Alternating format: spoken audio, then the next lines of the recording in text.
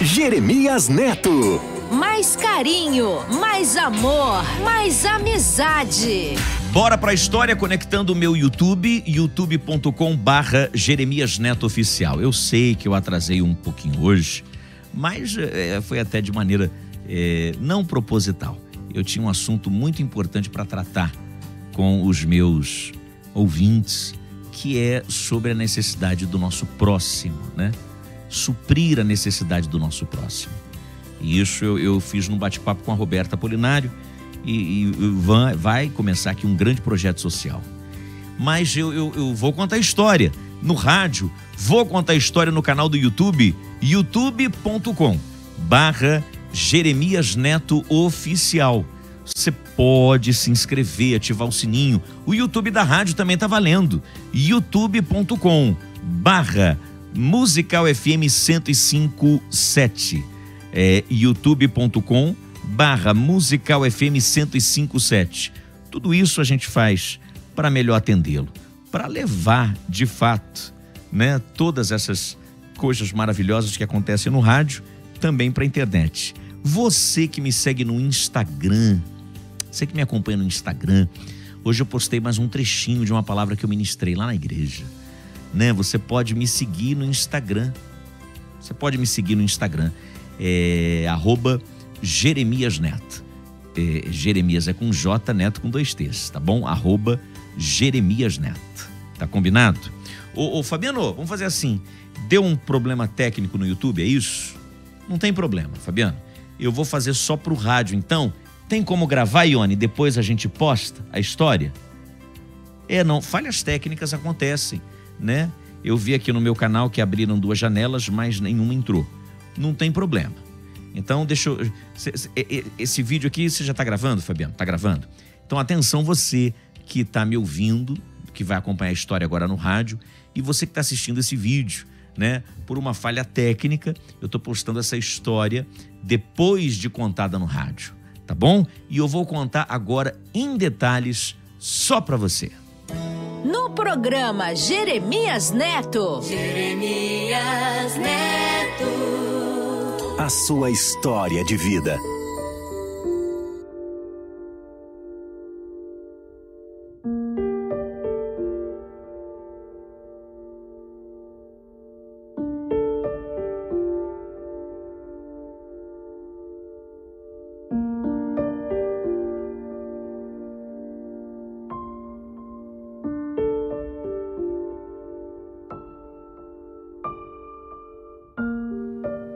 Meu querido amigo Jeremias Neto. Jere, eu, eu preciso começar a contar minha história desde o início. Se você não tiver tempo, eu vou entender. Mas primeiro eu, eu preciso contar como é que eu conheci o Anderson. Eu levantei atrasado aquele dia. Eu trabalho aí muito próxima de você na Avenida Paulista. Não é bem na Avenida Paulista. É, é numa rua transversal, ela corta a Avenida Paulista. Mas aquele dia, eu, moradora do Campo Limpo, na zona sul de São Paulo, acabei perdendo hora. Era bem a placa do meu carro. Ainda juntava isso, eu fui obrigado a chamar um motorista de aplicativo. E aí eu chamei, até chamei um, um, um, carro melhor. Nós temos a opção, quando chamamos um motorista é, por aplicativo, tem o carro chamado popular, depois tem o carro intermediário e tem aquele carro um pouco melhor. Como eu estava com pressa e, e gosto muito de um ar-condicionado, eu chamei aquele carro um pouco melhor.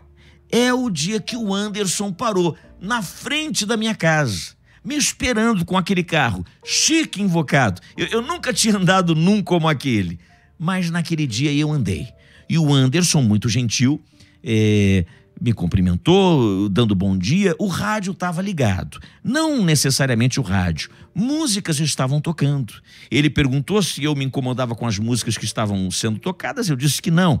Estava baixo e estava tudo bem. Eu estava resolvendo algumas coisas já no computador pelo atraso que eu enfrentava.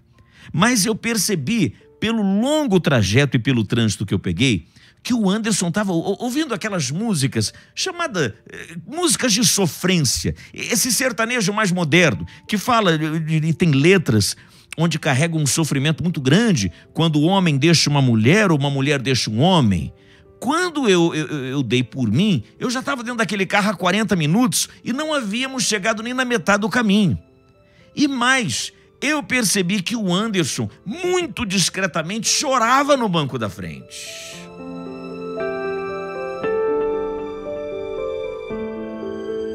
Veja, entenda a cena. Não era um choro é, demasiado, não era, ele não estava dando escarcel. Aliás, ele nem fazia barulho. Eu, eu, percebi que os olhos estavam inchados e que as lágrimas escorriam. Eu, eu consegui ver até pelo espelho retrovisor. Vi que ele ficou acanhado, mas não teve jeito. Ele estava ouvindo as músicas, eu percebia que nas letras das músicas sempre falava a história de uma mulher que abandonou um homem, ou vice-versa. E quando ele se identificava com a letra da música, ele chorava. Teve um momento que eu não aguentei, já dentro do carro há 40 minutos, falei: Olha, me perdoe.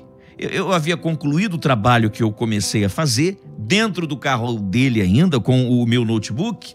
Como eu já adiantei parte do trabalho e estou a caminho da Paulista, eu perguntei o que estava acontecendo. Olha, moço, desculpe, eu, eu não tenho nada a ver com isso, mas você está chorando, está tudo bem? Você está passando bem? Você está se sentindo bem? Não, não, senhora, está tudo bem, me perdoe. Isso não vai se repetir. Não, não estou censurando você, muito menos punindo. Não é nada disso, mas vejo que você não está bem, eu, eu, eu posso. Eu posso te ajudar de alguma forma? Não. Ah, moça, desculpa, mas ninguém pode me ajudar.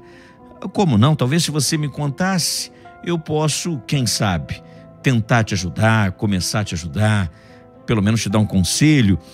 Pelo que eu vejo, eu sou um pouco mais velha que você. Talvez aquilo que você esteja enfrentando eu já enfrentei, se é o que eu estou pensando.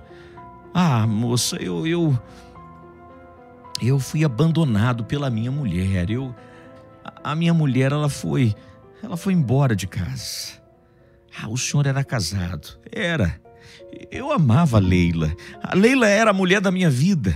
Eu, fiz de tudo para consertar o nosso casamento. Eu, tentei tudo. Eu, abri mão de tudo. até um carro eu quis dar para ela, mas nem isso fez com que ela mudasse de ideia. Ela acabou conhecendo uma outra pessoa e me deixou. A senhora me perdoe, eu nem deveria estar te contando essas coisas. A senhora é uma cliente, a senhora não tem nada a ver com isso. Me perdoe. Lá na empresa vão me punir. Não, não, moço, calma. Calma, você está tá armado, calma. Eu sou uma passageira, sim, mas acima de tudo sou ser humano. Vejo que, que você não está bem. Olha, o que aconteceu com você eu já vivi também, numa outra época, num outro momento. Hoje eu estou sozinha, mas você não é o único ser humano, não. Calma, levanta essa cabeça, você é jovem, você vai conhecer muita gente legal. Será? Eu amo a Leila. Eu queria muito que ela voltasse para mim. Mas ainda ontem tivemos uma discussão feia por telefone. Ela não abre mão do divórcio, diz que quer o divórcio de qualquer jeito, isso e aquilo. E eu tô arrasado. Hoje eu vim trabalhar, eu não dormi nada essa noite toda. Me perdoe, olha, acabando essa corrida, eu vou voltar para minha casa tentar dormir. É até uma falta de responsabilidade da minha parte. Pegar esse carro para dirigir. Você tem razão com isso. Então faz assim, me deixa lá no trabalho mas eu quero que você fique bem. Jeremias, eu fui conversando com o Anderson durante o trajeto, do Campo Limpo na minha casa, Zona Sul, até a região da Paulista, aqui em São Paulo.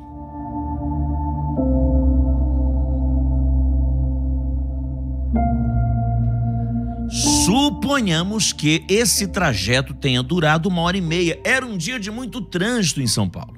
Habitualmente não dura isso, mas naquele dia, pelo meu atraso, perdi hora, chamei o motorista por aplicativo, ele me pegou, começou a conversar comigo, percebi que ele chorava, ele me contou sua história, nos tornamos amigos em uma hora e meia.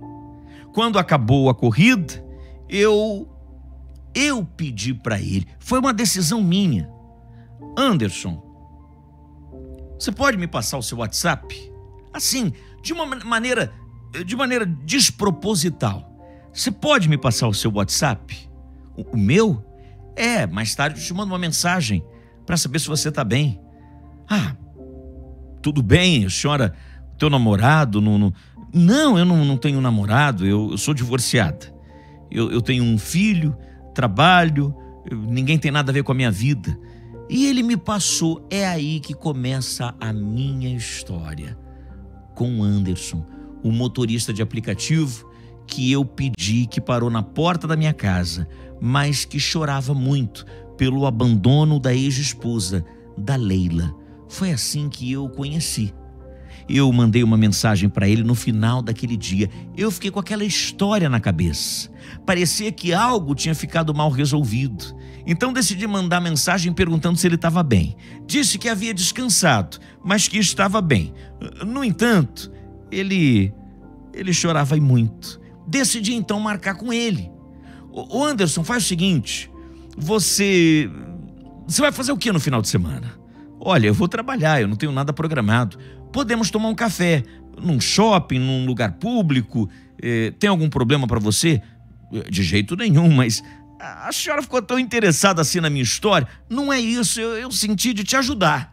Pronto, foi essa a resposta que eu dei para ele. Eu senti de te ajudar, Anderson.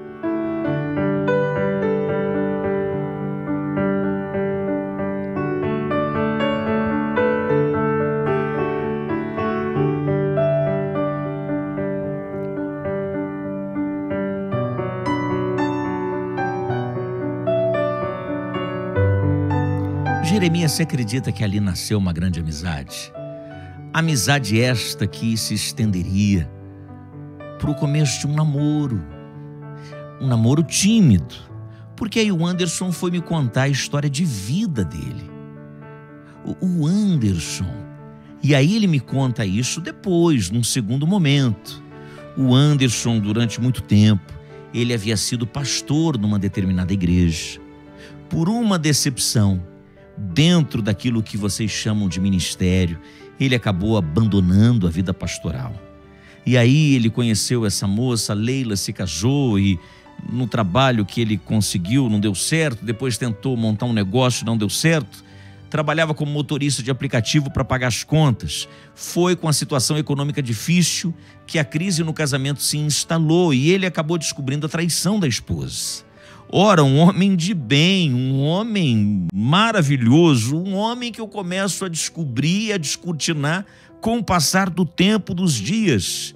E mesmo não sendo evangélica à época, fui eu que disse: por que, que você não vai a um culto já que você é pastor? Não, eu era, não. Quem é não deixa de ser. Embora você não esteja exercendo e eu não conheça absolutamente nada, por que, que você não volta para a igreja? Por que, que você não se reconcilia, volta para Jesus e quem sabe amanhã ou depois não volte a pastorear, uma vez que você disse que ficou um vácuo, um vazio na sua vida depois que você abandonou a igreja. Jeremias, nós fomos num primeiro culto juntos. E naquele dia, eu que achava que ele iria se reconciliar com Jesus, fui eu que aceitei Jesus como único e suficiente Senhor e Salvador. No primeiro culto que eu fui com Anderson.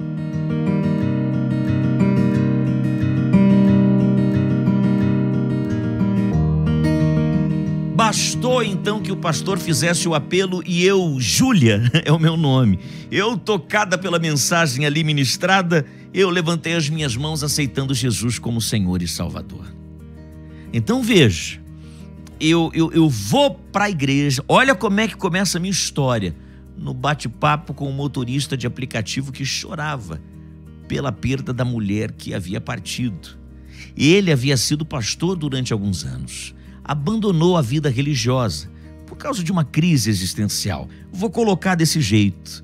Um dia eu o convido para a igreja. Sabia que ele precisava disso, mas mal eu saberia que, na realidade, quem precisava era eu. E foi um descortinar na minha vida maravilhoso conhecer a Cristo, recebê-lo como Senhor e Salvador. Foi assim que eu me converti. Aliás, foi assim que eu descobri o teu programa, Gerê. Porque logo no dia seguinte eu procurei um programa evangélico para ouvir e justamente o rádio caiu nessa estação que você trabalha, musical. E aí eu comecei a te ouvir. Amo as histórias que você conta. E aí a minha história com o Anderson só estava no começo. O final é mais do que surpreendente. Por isso eu gostaria que você contasse a minha história sem pressa. Meu nome é Júlia. O nome da pessoa que foi me buscar em casa é Anderson. Mas por favor, se você puder, porque eu contando aqui já passei de 3 mil palavras. Dá uma porção de páginas. Você não vai dar conta de contar tudo num dia só. Divida em dois capítulos, meu amigo. Tenho certeza que o teu ouvinte vai se surpreender com a história que eu tenho para contar.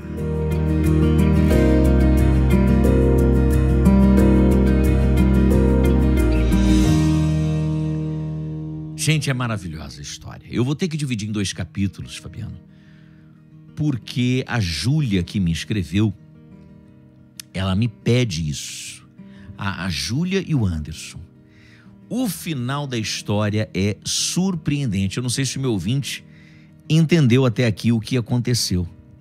Eu não sei se o meu ouvinte compreendeu o que Deus fez na vida da Júlia quando ela pede um motorista de aplicativo e este está chorando dentro do carro. Renata, então, essa é a história de Júlia e Anderson, parte 1. Na segunda-feira, eu vou contar a parte 2 e final da história. Não, Ione, eu, a Ione não gosta porque ela fala, Gerê, o ouvinte fica esperando. Não é, Ione, eu, eu não vou dar, não tenho tempo. Eu vou ter que dividir em dois capítulos, porque os detalhes são incríveis. O final é maravilhoso. O motorista de aplicativo chorava e ela se apaixona por ele assim a mulher havia havia abandonado Anderson e Anderson ouvindo as tais músicas de sofrência. Só depois ela descobriu que ele havia sido pastor também. Na segunda-feira eu vou contar o segundo capítulo dessa história. Tá combinado? Vocês me compreendem? Ah, muito obrigado. Eu sabia que poderia contar com cada um de vocês. Gente, deixa eu falar da bala fáfia. Bala fáfia é um produto sem igual. Balafáfia está no mercado há 30 anos, resolvendo o problema da bronquite, asma, rinite, sinusite, bronquiolite, falta de ar, tosse alérgica de muita gente. Tem muita gente me ouvindo e me acompanhando, sofrendo com esses males todos. É a mãe, é a avó, são pessoas que me ouvem e me acompanham diariamente e talvez ainda não tenham se convencido de que a balafáfia é tudo isso. Pois eu estou aqui para dizer: é, é tudo isso. Você liga 3042 1688. 3042 1688.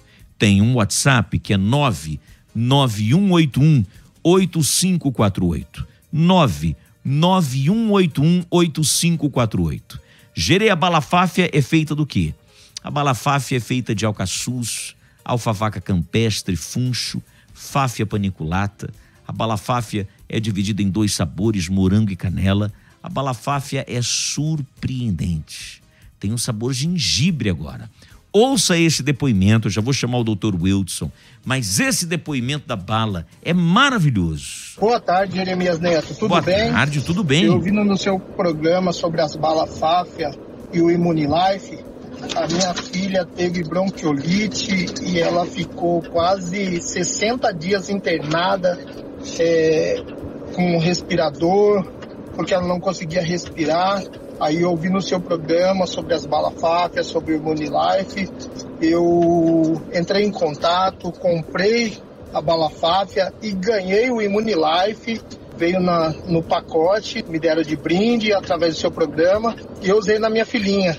E a minha filhinha até hoje nunca mais voltou para o hospital. Ela está curada através da balafáfia e do Imunilife. Não tem mais é, problema de respiração, não tem mais problema ficar gripadinha nem nada, ela tá tranquila. Graças a Deus pelo seu programa e pelas balas Fáfia. Que maravilha. Doutor Eudson, a gente vai falar o que depois desse depoimento, doutor Eudson? E sabe, Jeremias, a, a bala fáfia tem essa ação impressionante, porque a fáfia paniculata, que é uma das ervas que estão contidas ali dentro da bala fáfia, faz esse trabalho especial de melhorar a, a imunidade. Então, deixa o sistema imunológico funcionando bem, protegendo a gente. Porque quem faz essa defesa especial é o sistema imunológico. E, e ele foi inteligente, Jeremias, porque ele pediu o Imunilife de brinde. E o Imunilife, ele tem vitamina C, vitamina D, zinco, ácido fólico, biotina, vitaminas do complexo B. E isso faz o quê? Fortalece a imunidade, deixa o seu organismo mais preparado para essas mudanças de tempo do dia a dia. Porque a gente tem as noites e madrugadas um pouco mais frias, aí chega aí chega durante o dia, esquenta, à tarde esfria novamente. Esse vai e vem na temperatura tem deixado muita gente gripada, muita gente resfriada, e é por isso que a bala faca tem feito tanto sucesso. Junto com o Imunilife, hoje a gente pode fazer essa promoção, tá? Você vai adquirir a sua bala faca agora, já pode ligando no 11 99181 8548, anota aí, ó, 991 818548. Liga, pede a bala fácia, leva as cápsulas do, do Imunilife de presente. E se você ligar agora, a gente pode fazer assim, ó. Abril tá chegando no final. Semana que vem tem feriado para você receber já na segunda-feira. Você vai pedir o seu kit e hoje você vai levar o brinde em dobro. Então, ao invés de um pote do Imunilife, hoje você vai levar dois potes para você poder cuidar da família toda, viu, Jeremias? Olha, vão levar dois potes do Imunilife, é? Que maravilha! Hoje leva, hoje leva o brinde em dobro. Então você pode escolher o Imunilife. Se você quiser o xarope, leva em dobro também. Quer a vitamina C? Leva em dobro também. Mas eu recomendo o Imunilife porque ele é completo para essas questões da imunidade, viu, Jeremias? 3042 1688. 3042 1688. WhatsApp 99181 8548. 9 9181 8548. Jeremias Neto. Mais carinho, mais amor, mais amizade.